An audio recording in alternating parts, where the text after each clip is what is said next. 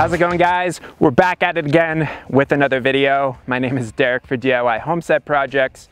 So what I want to do in this video is do a full tour of our rainwater harvesting system as well as explain some of the finer details about the sizes that I chose um, to basically create an off-grid uh, rainwater harvesting system that should supply us with all the water that we're going to need year-round in a climate, in a desert climate, an arid climate here in southeastern Arizona. So this huge monstrosity here, um, I like to call it the rain roof. It's not technically a roof, it's just a roof catchment surface that I built on the ground and just using the slope of the ground, um, it's able to basically without really any major modification, uh, direct water down two four inch pipes that are going into our main uh, collection water tanks. Now let's talk about sizing because sizing a rainwater harvesting system is, uh, is certainly really important. If it's something that um, you want to live entirely off rainwater, sizing it properly, super important. So the first thing that you want to do is figure out how much water you're going to be using on a yearly basis. Now there are ways to figure it out. Um, they are estimates, but they're based on basically what plumbing fixtures that you're going to be using. So if you have a sink and a shower, washing machine, toilet, etc., etc. And these estimates, um, I'm sure you can find them online somewhere, but you can get them in this book here, Rainwater Harvesting for Drylands and Beyond. And this is volume one. So Brad has two volumes of this book. You want the volume one? Volume two talks specifically about earthworks. Volume one is kind of more of like an overview book. So the number that I came up with, it was like nine or 10 months ago, so I don't remember exactly what it was. Uh, but I figured that we're gonna be using somewhere between like 16 to 20,000 gallons of water per year. So once you have that number and you have kind of like a base idea, and that number also included um, having garden beds as well. So you can kind of calculate how much water a garden bed typically uses over the course of a year, and you can factor that into um, basically how much water you're going to be using per year. So with that number in mind, we got to figure out how much roof catchment surface is going to supply those water needs. So with all the projects that I do, I try to do a little bit overkill um, just because say for example, we have a drought year where maybe we only get like 10 or 11 inches of rain or um, we just use a lot more water than we originally anticipated, I'd rather have like a little bit of a buffer there. So I knew we had about 500 square feet of roof catchment surface between uh, the roof and the awning. So I figured based on that number, we'd probably need at least uh, 3,000 square feet of roof catchment surface based on an average annual rainfall of about 12 inches per year um, to collect all the water that we need for the, throughout the year. This rain roof is about 2,800 square feet. So if we take the 2,800 square feet plus the 500 square feet, we're at about 3,300. The shed roof is about uh, 150 square feet, so we're at 34, uh, 3,450 square feet of approximate roof catchment surface. So I'd rather go a little bit bigger than a little bit smaller, just so that we have that buffer there. So I did an entire series about how to build this rain roof, so I'll link that in the end card of this video. And um, I'll put it in the description box as well so you can check it out. But it's very simple. It's just using standard corrugated roofing panels, cinder blocks, 2x4s, and that's pretty much it for the main kind of building construction. So it's very simple, very low tech, inexpensive roof catchment surface. I got the idea for doing something like this from uh, Joe, Homesteadonomics. I'm gonna be talking about him quite a bit in this video.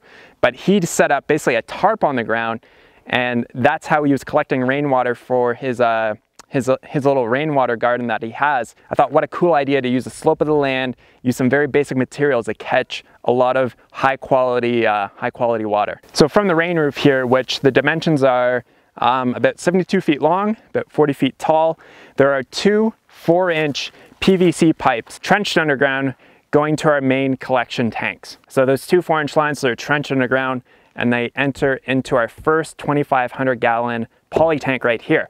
Now you might be wondering, how does the water travel up this pipe?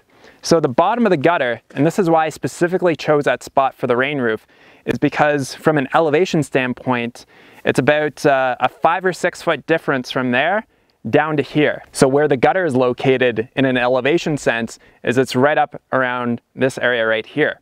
So this is what's called the wet system. So as water flows down this pipe, it fills this pipe up with water. That's why it's called a wet system. And as more water keeps filling up the pipe, it'll eventually push the water into the tank just through gravity. So it's very simple, but also pretty badass. So in the bottom of each of these poly tanks, each size is 2,500 gallons. So we've got 10,000 gallons of capacity right here. On the bottom of these tanks, there's a two inch bulkhead fitting, which I reduced down to a one inch line. Um, just after the one inch line, there's a uh, there's four shut-off valves, one for each tank. Then the one-inch lines come together to form an inch and a quarter line, which goes into the shed behind me. So how this works, since there isn't a first flush, is the shut-off valve on this tank here is shut off. So it will not, when this tank fills up with water, it'll just keep filling up, filling up, filling up, filling up. But it's not going to fill up the other tanks. How the other tanks get filled up is through this overflow pipe right here. So as we get a big rainstorm and say we get, you know, a thousand or 2,000 gallons of water and this tank is about to overflow, it doesn't overflow like just onto the ground. It overflows into, the, into this tank here. So a lot of the sediment and debris that comes from the rain roof will stay in, in this tank because it settles on the bottom. So what I'll do once a year is empty out the water from this tank into these three tanks and then just climb inside and uh, clean it out. So if all four of these tanks were to completely fill up the, uh, the overflow would come out of this pipe here and down into this basin. So a big important um, principle of rainwater harvesting is to always plan for an overflow. And if you can use that overflow as a resource, which we're gonna be doing, then that's really good. So we've got two of our shut-off valves right here. You can see they're both open right now. Come over here. Third one, open. Fourth one for basically where all the water comes from the rain roof, that one's closed there. So the water can't pass through the pipes and mix with the other three tanks. The only way that the water from this tank is getting into the other tanks is through that overflow pipe right there. So the pipes underground converge into an inch and a quarter line um, that is going right into the shed here. With most well pumps, the inlet side is usually inch and a quarter. So that's the size of pipe that you're gonna be running to most well pumps. So that inch and a quarter pipe pops up through the, uh, the bottom of the shed floor, goes into our shallow well pump, and then the water is pumped into the pressure tank here. So the water pressure going into our house is moderated uh, between 30 and 50 PSI. So once the water pressure in the tank uh, basically gets down to 30 PSI, the pump kicks on, pumps it up to 50 PSI, then it shuts off and it's controlled by this uh, pressure switch right here. So from here, the water gets filtered uh, through a whole house poly cartridge and then a carbon filter right there. And then from there, it's going into the house for uh, domestic use. So there are two PEX lines coming from the shed that are trenched underground and then go up into the tiny house. So the water comes out of the tap, obviously. And for the water that we use for drinking and cooking, we use a Berkey water filter. So it's a very simple gravity fed water filter. You put it in the top, comes out the bottom nice and clean. So the Berkey system is really cool. You can check out on their website all the different contaminants and minerals and bacteria that it filters out. But it does a really good job. Um, but all the other water that we use for showering, for gardening, um, anything else, um, it's just, it just gets filtered once but anything that we use for drinking and cooking gets filtered twice. So the water that's collected off the awning and off the tiny house roof goes directly into this big culvert cistern, which is six feet in diameter by about eight feet tall. I think it holds around 1600 gallons worth of water. So the water from this tank is almost kind of like backup water. So if we were to run out of water in our main collection tanks, I could use a, uh, a small electric pump and then transfer the water over to those tanks. But I am using this water um, for a lot of our gardening projects. So we just planted some new seeds for our winter garden, so I use the water from here to fill up our watering can to germinate those seeds. So I am planning on some other gardening projects, I think right in this area here. So um, I'll basically be able to use the water from this tank to, uh, to grow some food. So the water from the shed roof goes into this culvert cistern, which is uh, four feet in diameter and about six feet tall. So I think it holds maybe, I don't know, I haven't done the calculations. I think it's like 500 or 600 gallons. The water from here is gravity fed into our uh, Olla irrigation system, which is in this sunken bed. So in my most recent video, I showed how I set this entire thing up.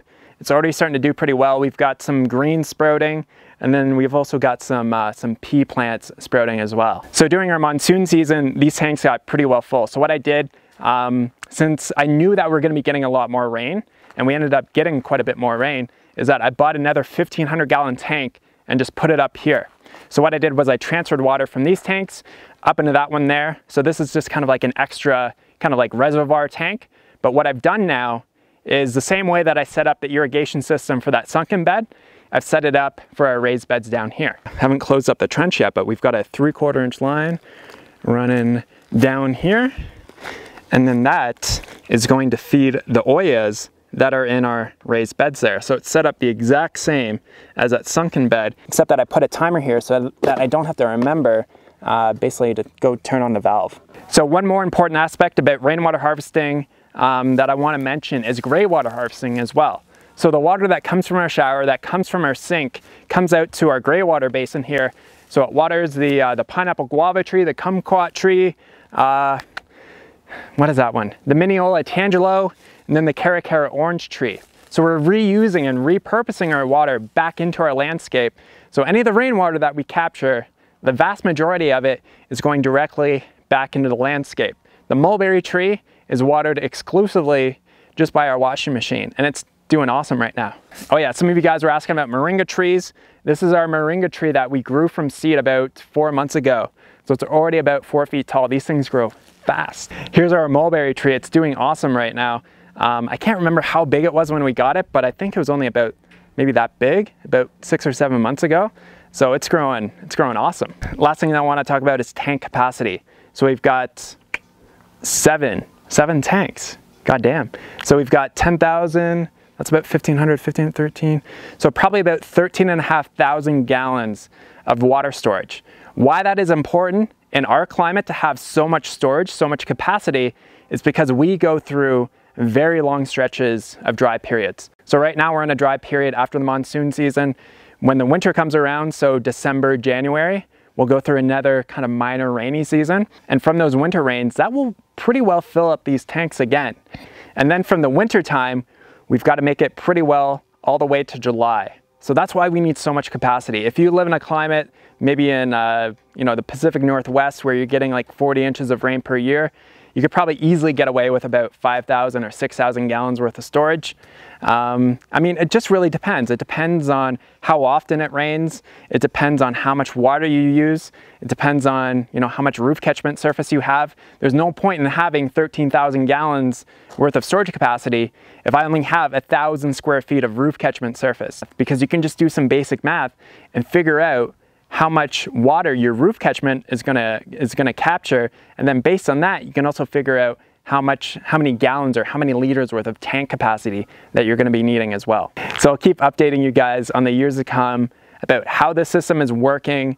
Uh, but for now, just based on getting our first monsoon season, and um, I'll have a much better idea after the winter season exactly how it's going to perform. But I base the size of our system not only after my own calculations, but also the size of Joe's system from Homesteadonomics. He lives just about an hour away from us. He gets essentially the same rainfall as us.